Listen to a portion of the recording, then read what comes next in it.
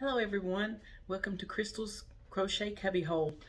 I hope you are having a good morning and I just wanted to share a finished object with you and some Happy Mail I received yesterday. So, uh, first the finished object.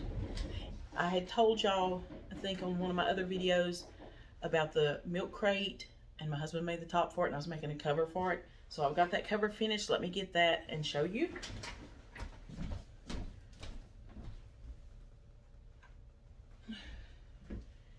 Here is the stool. And you see it's a milk crate. Let me pull it off. Let's show you this. It's a milk crate.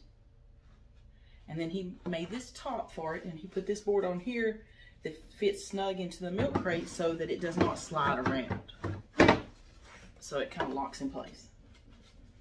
And then I made the cover for it. And then, um,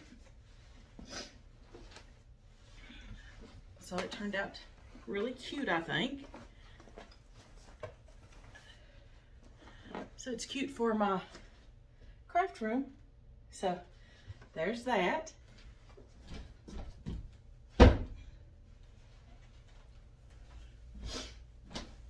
Okay.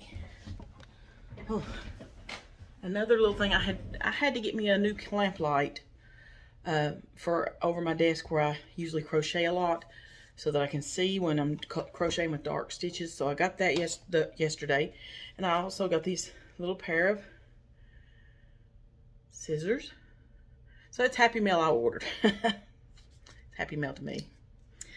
Then I received this package in mail and sorry, I was so excited. I thought it was something else I might have ordered, but it wasn't. It was Happy Mail. So I wanted to share that with you. And it is this little this little set of skeins. They are just so adorable. It just see how little. And so it's a whole bag with all different colors in it. And I'm not for sure, I probably could use them in granny squares or, you know, small things like that.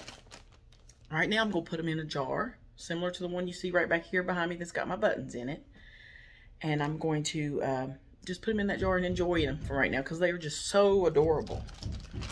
So there's that. If you hear him banging, it's my husband downstairs in the basement working. but um,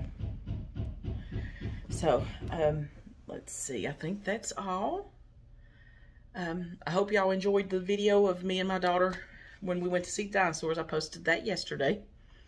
But um, before I go, my grandson's coming over to go to church with me. So when he gets here, I'll be busy. One of my grandsons. One. Um, so I wanted to share a scripture today that I think is really fitting for the first day of spring. Uh, it's Song of Solomon 2 and 12. 2 and 12. Song of Solomon 2 and 12. The flowers appear on the earth.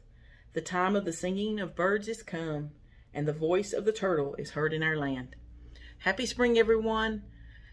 Hopefully, I'll see you again on the next Chrystal's Crochet Cubby Hole video. I love my I love you all. Uh, talk to you later. Have a good day. Bye.